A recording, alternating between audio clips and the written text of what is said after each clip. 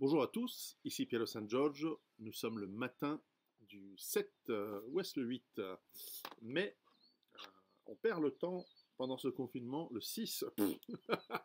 Nous sommes le 6 mai, d'ailleurs ça tombe bien. Euh, aujourd'hui, je vous présente Cinéma Survivaliste, un, un film de Francesco Rosi qui est probablement le, pour moi le meilleur réalisateur italien de l'après-guerre qui a réalisé des films comme Uomini contro, euh, Il Cristo si fermato a Eboli, tiens, tiré aussi d'un livre de, Primo Levi. Aujourd'hui, je vous parle de La Trêve, de Truce. Je ne sais pas si ce film est sorti en français, excellent film euh, qui est inspiré du roman La Trêve, euh, roman de 1963 de Primo Levi, qui est un auteur italien qui est évidemment très connu, euh, il est très connu pour ce livre-ci, mais aussi pour justement le Cristo se fermato eboli, euh, qui se passe également, qui se passe pendant la période euh, fasciste, mais enfin, et d'autres et d'autres livres très intéressants, dont sa biographie, dont le tome 1 est Si c'est un homme, je crois, et le tome 2 est La Trêve, justement. Si c'est un homme relate la, la vie de Dino Risi et comment il s'est fait attraper euh, en tant que partisan pendant, en 1943-44 et comment il a fini au camp d'Auschwitz en, je crois, février 1944 et qui a survécu. D'ailleurs, comme mon grand-père Giuseppe, euh, lui, en étant, parce que c'était un étudiant en chimie, lui a été euh, amené à travailler dans les usines de, bien que juif, semblerait-il, enfin, juif, mais lui-même n'était pas pratiquant, c'est une vieille famille juive italienne, vous savez, en Italie, beaucoup de familles juives étaient parfaitement intégrées dans la, société. Et donc ça a été une grosse surprise pour elle, euh, déjà que le régime fasciste, qui était euh, tout à fait euh, philosémite pendant, presque 20 ans, pour calquer à son alliance avec l'Allemagne nazie, qui elle, on ne peut pas dire qu'elle était vraiment philosémite, eh bien, a mis en place des, des lois raciales injustes en 1938 euh, et qui euh, ont fait que beaucoup de familles qui étaient parfaitement intégrées dans la, famille, dans la, dans la vie italienne et qui étaient euh, marginalement ou plutôt culturellement juives sur les bords, eh ben, se sont retrouvées stigmatisées et quand l'Allemagne a envahi l'Italie en 1943 et a pris le contrôle du territoire, eh bien, se sont vues pour une grande partie raflées et envoyées dans des camps où, comme on le sait, beaucoup sont morts pendant l'hiver 1944-1945. Alors, euh, c'est pas de ça dont, parle ce film La Trêve, puisque le film commence à la libération d'Auschwitz en, je crois que c'est février 1945. Et euh, on devrait le savoir, c'est un peu une des bases de la religion moderne, donc euh, quand même. Et bref, c'est une des grandes fêtes, malheureusement, de, je crois que c'est un jour férié en Israël, mais pour eux c'est évident, c'est normal. Et bref, nous avons Primo, donc c'est autopublicatif, c'est ce, ce, jeune homme qui est euh, un peu plus jeune que mon grand-père d'ailleurs, euh, qui doit avoir donc bientôt 30 ans, la fin de la vingtaine, début trentaine, et qui se retrouve euh, eh bien libéré par l'armée rouge. Et en ça, c'est très similaire à ce qui arrivait à, ce que je décris à la fin de mon roman de Giuseppe, la libération par l'armée rouge. là, évidemment, ça se fait en, début d'hiver. et donc, alors que mon grand-père s'est fait libérer justement en mai et euh, fin avril, fin avril, début mai 1945. Bon, c'est pas la même chose, c'est pas les mêmes camps. Lui, à Auschwitz, c'est quand même des camps où euh, la, mortalité était, quand même bien, bien, bien pire et les traitements étaient bien pires que ceux qu'a suivi mon grand-père dans un camp de, prisonniers, bien que l'hiver ait été violent et, et qu'il n'y ait pas eu de, nourriture, surtout vers la fin. Et le, et donc ce livre, ce primo est, joué par un excellent euh, acteur, John Turturro, euh, que vous connaissez sans doute si vous aimez les films de Spike Lee. Il a joué dans Summer of Sam, il a joué dans, euh, dans, plein d'autres, d'autres. je crois que c'était Do the Right Thing aussi. C'est un, un, auteur qui est Barton Fink, c'est un, un, des acteurs fétiches des frères Cohen, très très très bon acteur, qui est donc libéré et qui euh, et c'est là où j'ai trouvé intéressant, j'avais lu ce livre il y a très très longtemps, et j'ai trouvé très intéressant par rapport à la libération des camps de mon grand-père par l'armée rouge, où ici, eh bien, comme ils sont libérés donc en Pologne, à Auschwitz, ils se retrouvent bah, en tant que réfugiés, parce qu'en plus ce sont des civils, et ils se retrouvent avec d'autres prisonniers. Alors les hommes et les femmes sont, séparés pendant une grande partie de son histoire, c'est très intéressant, et se retrouvent en tant que personnes libérées, eh bien, à devoir être euh, dépendant de du bien vouloir de l'armée rouge, qui évidemment les traite correctement, évidemment euh, a autre chose à faire, ça je le décris également dans mon roman, puisque euh, elle a une guerre à gagner et puis elle a aussi toute une logistique à, à, maintenir pour ses propres soldats, pour sa propre armée, pour son propre effort de guerre et de ce qui va devenir la conquête de l'Europe centrale et de l'Europe de l'Est, évidemment, puisqu'ils sont en Pologne. Et donc, euh, l'armée rouge a comme première priorité de nourrir et d'équiper et de maintenir euh, euh, armée et opérationnelle son armée. Et en deuxième phase, évidemment, des éventuels prisonniers ou des, ou des, ou des réfugiés. Et donc, on voit très très bien dans, dans, ce, dans ce film, les joueurs, les, joueurs, les, acteurs jouent magnifiquement. On, voit très très bien la problématique de, survie. C'est-à-dire que c'est pas parce qu'on est libéré et parce qu'on est un réfugié qu'on va s'occuper de nous. Ça, c'est ce que vivent les, réfugiés. C'est pour ça que l'idée du survivalisme, c'est de ne jamais devenir un, réfugié. C'est au contraire d'avoir ses propres euh, moyens de survie, ses propres moyens de subsistance, sa propre autonomie, sa propre liberté. Car on le voit bien dans ce film, et je le décris également dans l'histoire de mon grand-père, lorsque vous êtes libéré et que vous êtes finalement euh, voilà, dépendant de quelqu'un, vous n'êtes pas libre et vous n'êtes pas libre d'aller chez vous et vous êtes surtout tributaire de la volonté de celui qui qui s'occupe de vous, de bien vouloir s'occuper de vous. Si tout d'un coup la situation change parce que la politique change, imaginez qu'en 45 euh, les alliés occidentaux décident de finir la guerre en attaquant l'Union soviétique pour se débarrasser de ce fléau euh, qu'est le communisme, à juste titre, mais enfin, ils ne l'ont pas fait parce qu'évidemment, tout d'abord, ils étaient épuisés, et puis ensuite, euh, l'armée rouge, euh, c'était quand même quelque chose en 1945. D'ailleurs, il y a un plan britannique qui a été présenté à Churchill qui s'appelle Opération Unthinkable, c'est-à-dire euh, l'opération impensable, c'est-à-dire attaquer l'Union soviétique. Alors évidemment, les alliés occidentaux, s'ils l'avaient fait, ils n'avaient jamais l'intention de le faire, d'autant que une grande partie de l'administration américaine et britannique était extrêmement philo-soviétique et même communiste déjà à l'époque. Hein. Et donc, vous avez, en tant que réfugié, je reviens sur, mon, sur, mon, sur ce film et sur cette histoire, en tant que réfugié, vous, êtes dépendant. Donc, on voit ces gens qui, ont faim. C'est pas parce qu'ils sont libérés qu'ils sont un petit peu nourris par les soviétiques qu'ils mangent à leur faim. Ils sont mal nourris, mal habillés. Et donc, ils essayent de négocier avec la population, ils essayent de négocier entre eux, ils essayent de. Au fur et à mesure, ils rencontrent d'autres camps. Par exemple, à un moment, ils, tombent sur un camp de soldats italiens libérés euh, par les, soviétiques, un peu comme le camp, euh, un peu comme les, soldats italiens dont était mon grand-père, qui ont également été libérés. Et là, on voit qu'ils essayent de négocier, ils essayent de, se passer des infos. Et puis, on voit bien que il y a quand même une méfiance de ces civils juifs libérés parce que ils savent très très bien qu'il y a un stigme sur eux. Le fait de porter encore leur pyjama, beaucoup s'en débarrassent, mais certains le gardent par, par, euh, par une sorte d'attachement rageux à, à, ce stigme qui a été mis sur eux, que je comprends très bien, et bien qui gardent avec cette étoile euh, euh, qui, qui, les marque et qui, même parfois, la population les, les craint ou les déteste en même temps parce qu'ils se disent c'est à cause de vous qu'il a eu toute cette guerre et qu'il y a eu toute cette merde. Dans le sens, je ne dis pas que c'est à cause des juifs, hein, je dis c'est à cause de, des Allemands qui détestent les juifs, enfin les, nazis qui détestaient les juifs, ils avaient leur raison, machin, tout ça. D'ailleurs, je l'explique dans, mon livre, dans les notes historiques, un petit peu, euh, je ne veux pas disculper les Allemands, absolument pas, hein, loin de là. Euh, mais, euh, puis de toute façon, c'est de l'histoire, c'est passé, c'est fini, c'est de l'histoire ancienne. Elle ne sert que pour nous donner des idées, des perspectives.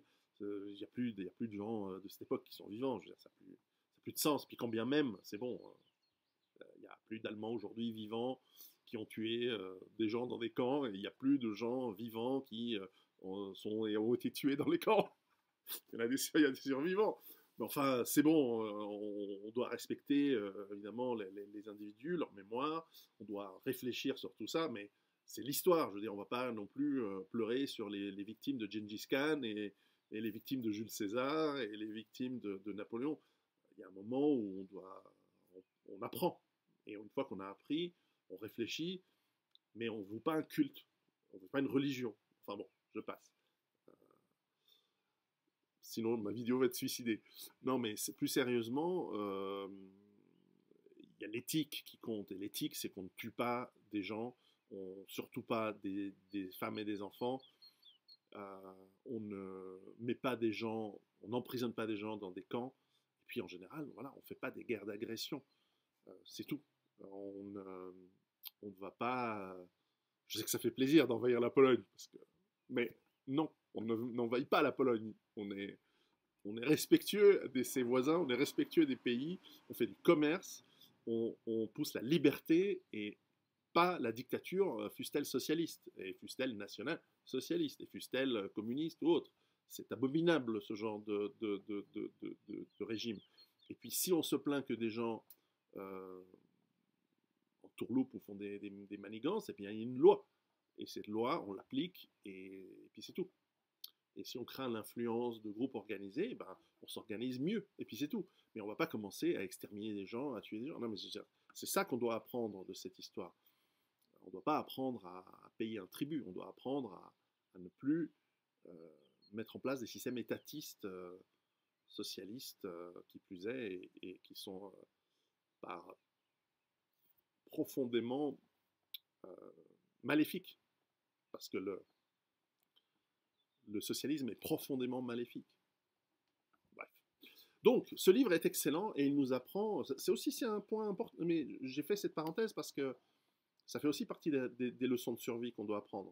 Parce que c'est très bien de survivre dans sa bad, c'est très bien de survivre euh, feuille sur le zizi dans la forêt, mais c'est encore mieux de ne pas mettre en place des systèmes étatiques et socialistes. Alors on, est, on en est, on est aujourd'hui. Alors à l'époque des nazis, des communistes, ils étaient, ils en avaient par-dessus la tête hein, de l'étatisme. Aujourd'hui, on est là, on respire encore. Mais il faut faire gaffe, il faut que ça descende, hein, parce que si ça continue à monter, on est reparti pour un tour de, de, de, Staline, Hitler et, tout ça. Hein. Ou de je sais pas qui. Mais euh, peut-être ce sera pas antisémite ce coup-ci. Mais euh, quoique, hein, faire gaffe, les boucs émissaires. Je sais qu'il y a beaucoup de juifs qui me regardent et je sais qu'ils savent que je suis là pour avertir. Je suis pas là pour euh, me moquer ou de. Je, fais le malin des fois, je suis, rigolo, j'espère. Mais c'est des avertissements que je donne. Faire gaffe le bouc émissaire, euh, généralement, c'est un petit groupe. Hein. C'est pas la majorité. Aujourd'hui, on, essaye de, évidemment, de.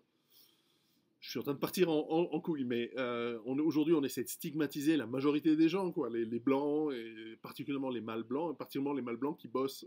Donc, euh, au bout d'un moment, vous savez ce qu'ils font, hein, les mâles blancs, quand ils sont énervés hein, dans l'histoire. Ils, vont conquérir l'Amérique, ils, vont, ils vont mettre au tapin la moitié du monde, hein, donc, le monde entier, en fait. Donc, il faut faire super gaffe avec le mal blanc, parce qu'on est gentil, on est gentil, on est généreux, on a de l'empathie, on est sympa et tout.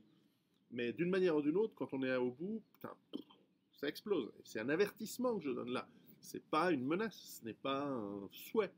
C'est ça que les, gens parfois n'arrivent pas à comprendre quand je dis ça. En fait, c'est parce que je suis gentil, parce que je suis bienveillant que je dis ça. Bref.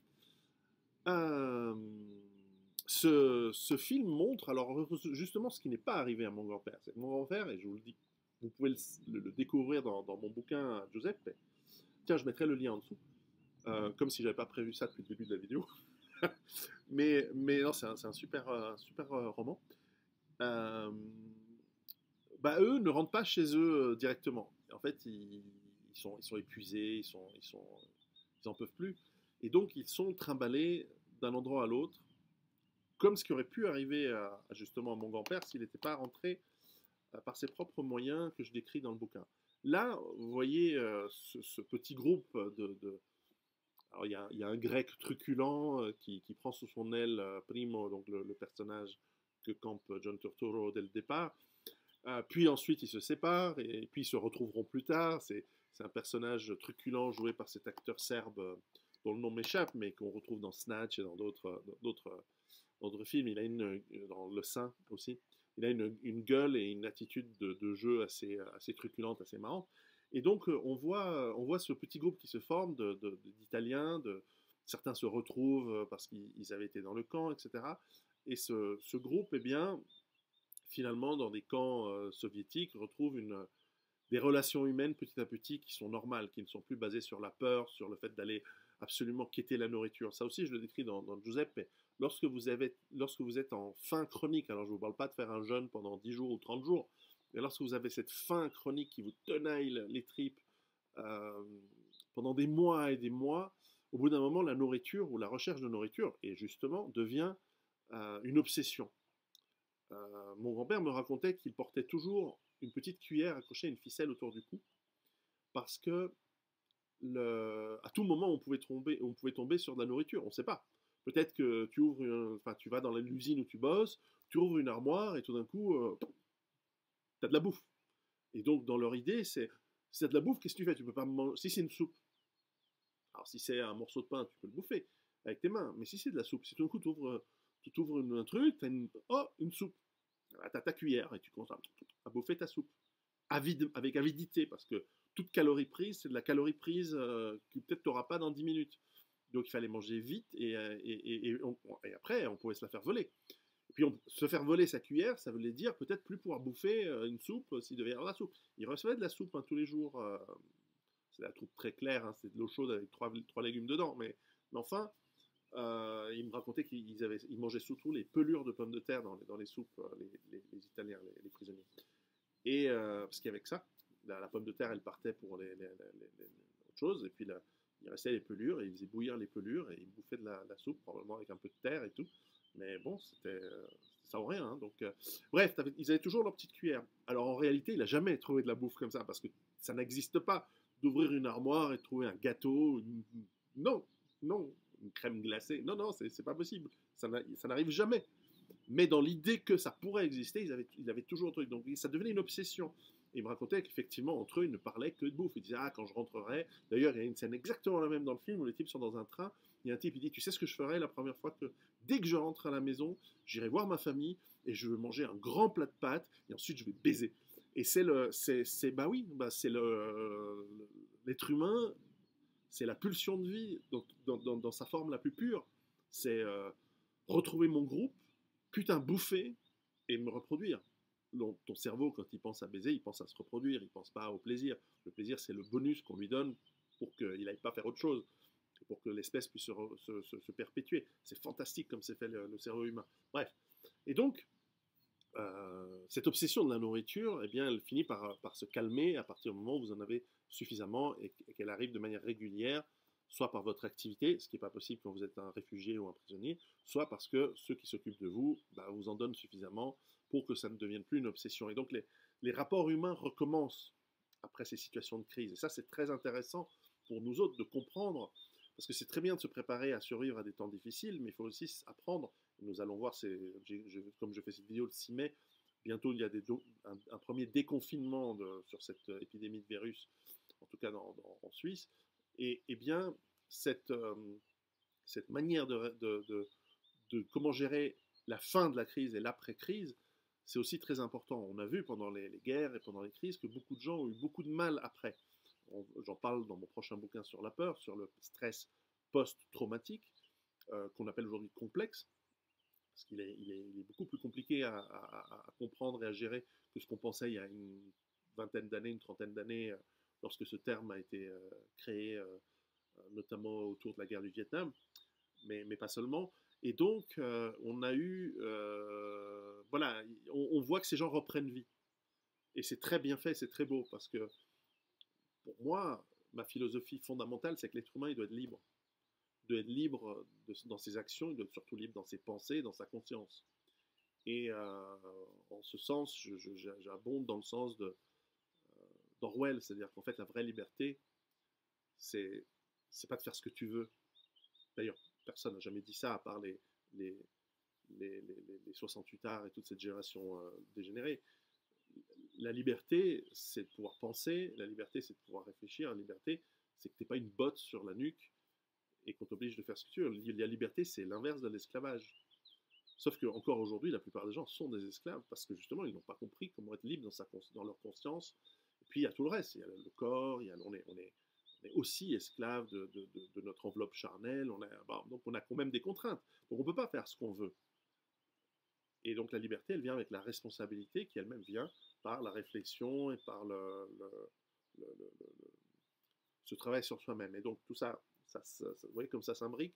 L'idée, c'est que donc quand vous finissez une période de crise, il faut faire très attention de ne pas tomber finalement esclave ou prisonnier de vos propres habitudes de survie. Vous voyez, c'est la survie, elle, elle, elle, elle, doit aller beaucoup plus loin. Elle doit nous permettre de mieux vivre, et donc de mieux gérer la fin d'une situation de crise. Et donc là, on les voit, c'est ces réfugiés euh, être trimballés, et puis comme je le disais, bah, les trains ont une priorité, d'ailleurs c'est exactement ce qu'on a dit à mon grand-père, c'est que les trains sont en priorité pour l'armée rouge, dans le sens qui va euh, euh, vers l'Allemagne pour amener munitions et ravitaillement, et dans le sens qui part vers la Russie, ou en tout cas vers l'Est, c'est pour rapatrier les blessés et les soldats qui sont démobilisés petit à petit, et qui rentrent chez eux.